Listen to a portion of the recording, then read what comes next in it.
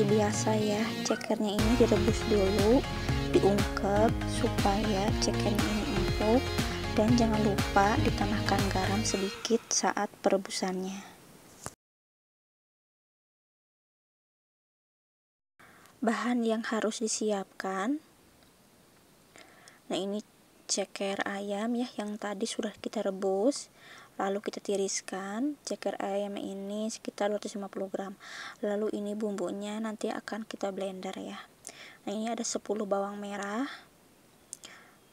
3 siung bawang putih lalu ini ada jahe lada atau lengkuas kemudian ada kunyit dan setengah buah tomat lalu 50 gram cabai keriting. Garam 1 sendok teh penyedap rasa 1 sendok teh, gula pasir 1 sendok teh, lada bubuk setengah bungkus.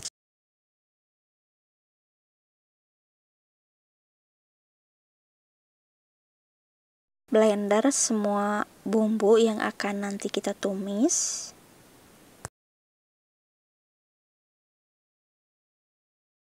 panaskan 3 sendok makan minyak goreng duh ini muncrat-muncrat karena tadi ketetesan air Tumis bumbunya sampai mengeluarkan aroma yang sangat harum. Terus aduk-aduk supaya tidak gosong bumbunya.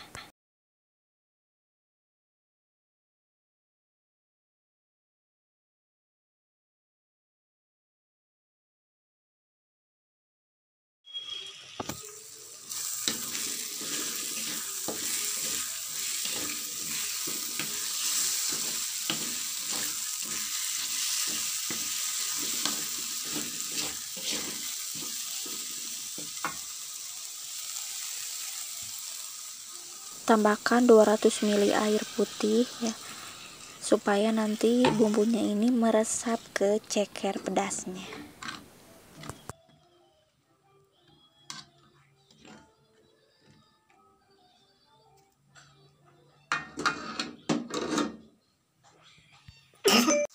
Airnya sudah mendidih jangan lupa tambahkan bumbunya. Setengah lada bubuk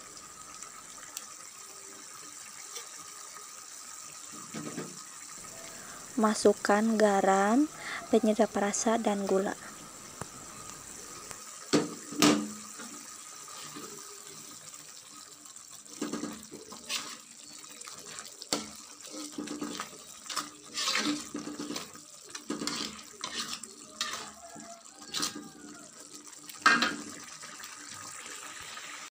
Bumbunya sudah tercampur rata, lalu masukkan ceker.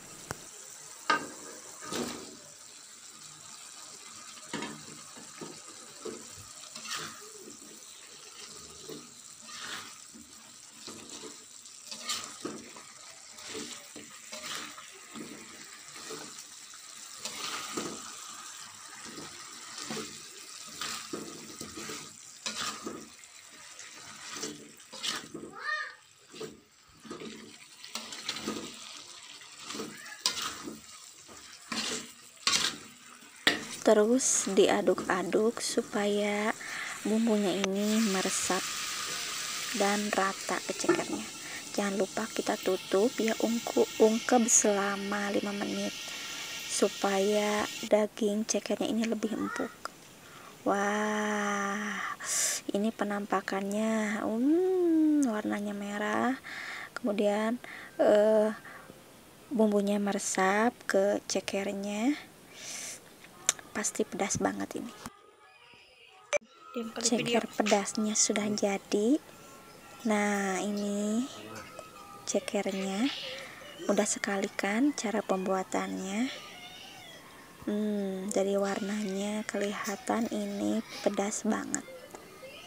No itu ada tangan dede dia mau eksis. Selamat mencoba resep ceker pedasnya dijamin bikin jontor